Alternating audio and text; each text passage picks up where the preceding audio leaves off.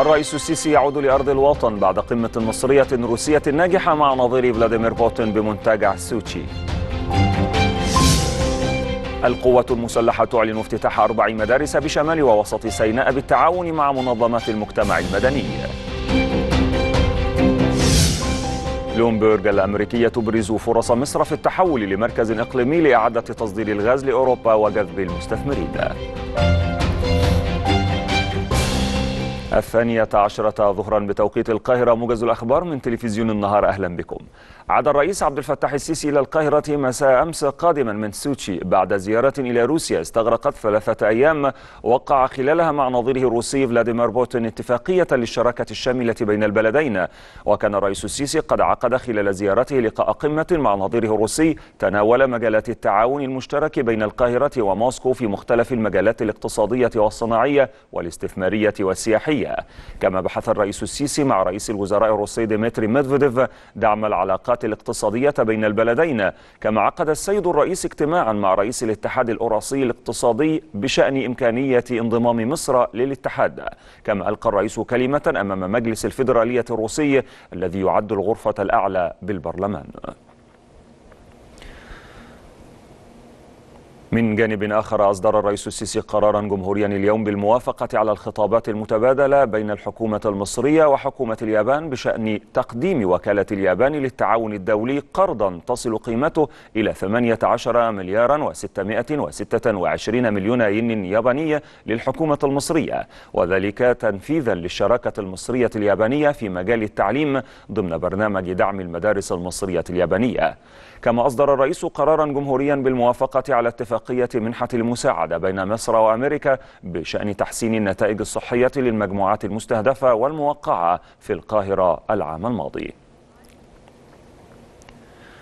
افتتح قائد قوات شرق القناة لمكافحة الإرهاب أربع مدارس للتعليم الأساسي لخدمة عدد من التجمعات البدوية والقرى النائية بنطاق مدينة بئر العبد بمحافظة شمال سيناء. شملت الافتتاحات مدرسة الشهيد عميد أركان حرب أحمد محمد عبد الله الكفراوي بقرية آل جريرة ومدرسة الشهيد الرقيب أول أحمد رضا عبد الحكيم ناصف بقرية الروضة والتي أقامتها القوات المسلحة بالتعاون مع عدد من مؤسسات المجتمع المدني.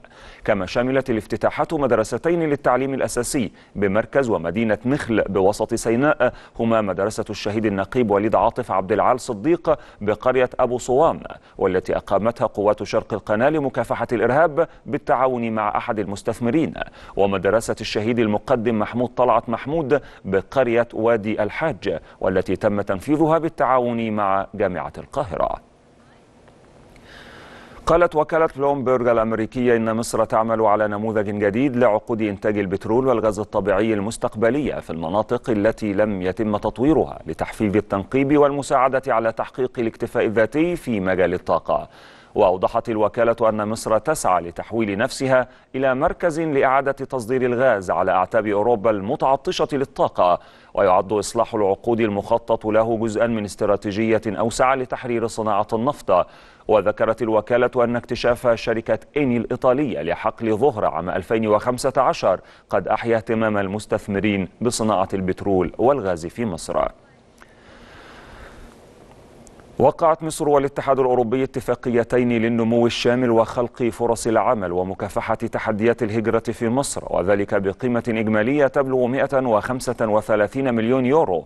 وقالت وزيرة الاستثمار سحر نصر بأن الاتفاق الأول يساهم في دعم المشروعات الصغيرة والمتوسطة والابتكار بقيمة 75 مليون يورو والثاني يتضمن سبعة مشروعات في 15 محافظة بقيمة 60 مليون يورو لمعالجة أسباب الظاهرة غير الشرعية للهجرة. من جانبه أكد المدير العام لسياسة الجوار وتوسيع الاتحاد الأوروبي أن الاتحاد يعد الشريك التنموي الأول لمصر بقيمة تصل إلى 11 مليار يورو.